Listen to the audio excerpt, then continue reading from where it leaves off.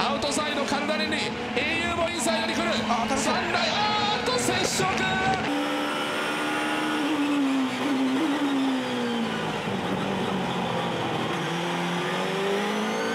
あっとここはワコーズカルダレンリがカルダレンリがインサイド。立川も外から来ている。あーもう立川選手が自重しましたね今ね。キャシディとカルダレッリの争いに加わる38号車立川のリプレイ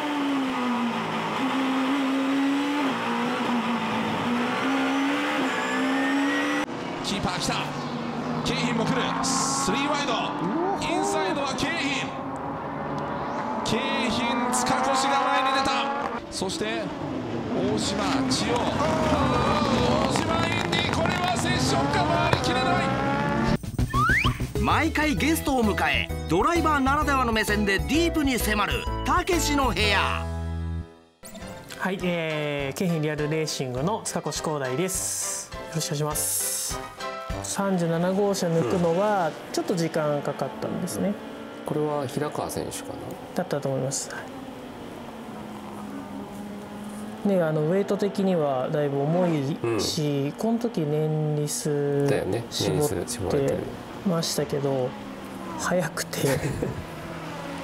あファイナルラップ。もうこの辺もう全然ガス欠で全然走んなくなったんですよちょっとの加速は良かったんですけど、うん。ストレートがもう全然加速しなくて。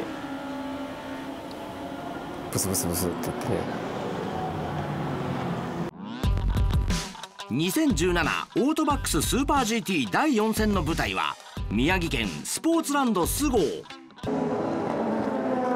いやーこれは最終コーナーでバーツが飛び散っています。あ完全にフロントカウルを飛ばして今ピットに戻りました。あーこれは NSXARTA がスピンしている。い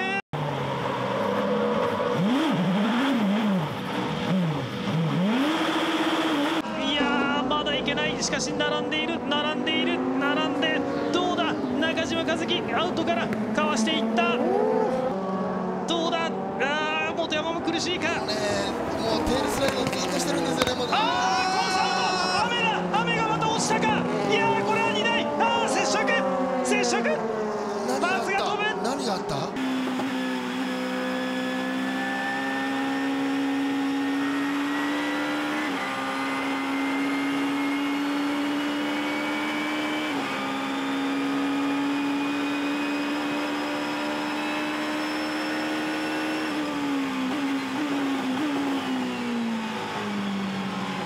Podcast.